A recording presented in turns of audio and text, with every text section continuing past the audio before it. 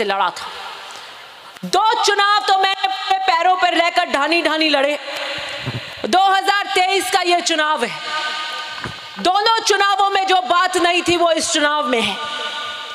अपने आप हर गाँव के अंदर लोग हमसे जुड़ने आ रहे हैं। ये ये दोनों चुनाव में हमने नहीं देखा 2013 अंदर हम जाते थे, हमारे कार्यकर्ता जाते थे। और कहते थे, आइए, जुड़िए, हम आपका वादा करते हैं, हम आपका काम कराएँगे। लेकिन 2023 के चुनाव में बीजेपी के कट्टर कार्यकर्ता हमारे साथ जुड़ रहे कार्यशैली के नाम पर। मैं नाम तो नहीं बताऊँगी गाँव का, लेकिन सौ घरों का से कम 400 साढ़े चार सौ वोट। सौ घर का बीजेपी का धड़ा हमसे जुड़ा और उन्होंने आके कहा कि आज तक हमने आपको वोट नहीं दिए। आज तक कांग्रेस को वोट नहीं दिया हम कट्टर बीजेपी के। तो मुझे बड़ा आश्चर्य हुआ और मैंने उनसे पूछा कि आज तक आपने वोट नहीं दिए तो आज अब ऐसा क्या हुआ? आपका हृदय परिवर्तन हुआ, आप जुड़ना चाहते हैं। तो उन्होंने कहा, मेरे इस तरफ़ आतूनी जो ढानियाँ हैं वो भी बीजेपी की थी। और वो पिछले चुनाव में जुड़ गई। उनके कोई विकास के काम नहीं हुए थे दस साल से। और वो जैसे ही आपसे जुड़ी, जुड़ते ही बाद में तीन चार महीने के उनके अंदर दो मुख्य काम थे, वो त्रस्त थे, दस साल से वो काम हो गए। मेरे इस तरफ़ कट्टर कांग्रेसी ढानियाँ हैं।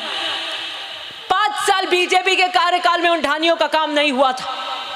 जब कांग्रेस की सरकार बनी, आप विधायक बने तो ब्याज समेत वहाँ काम हुए। पाँच साल के भी हुए इस पाँच साल के भी हुए।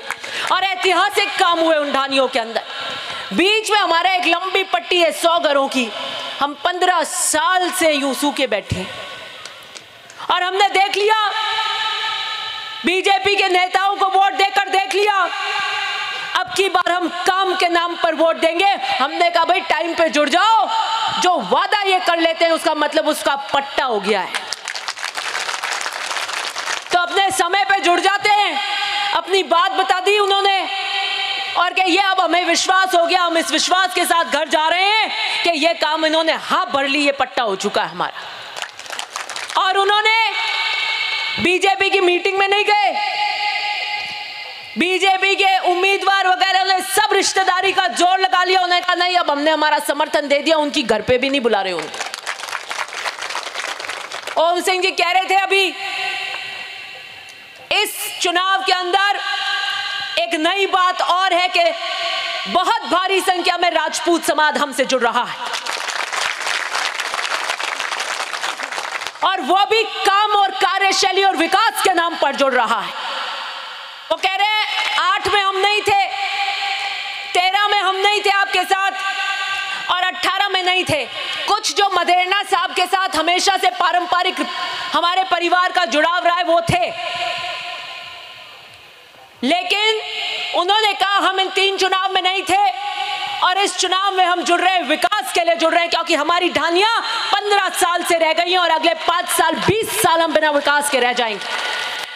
तो मैंने वादा किया कि जो ढानियाँ हमारे साथ जुड़ रही हैं उनके विकास की ज़िम्मेदारी मेरी ज़िम्मेदारी है। और जो भी बीजेपी से हमारे साथ जुड़ रहे हैं, उनका विकास कराना, उनका मान सम्मान कराना, उनका विकास कराना हमारी ज़िम्मेदारी है। और मैं वादा करती हूँ, जिन जिन ढानियों जो जो ढानी हमारे साथ आशा और विश्वास के साथ जुड़ी हैं और उन ढानियों के अंदर जिन मूलभूत आवश्यकताओं की कमी है वो पूरा मैं कराऊँगी तीन महीने के अंदर अंदर।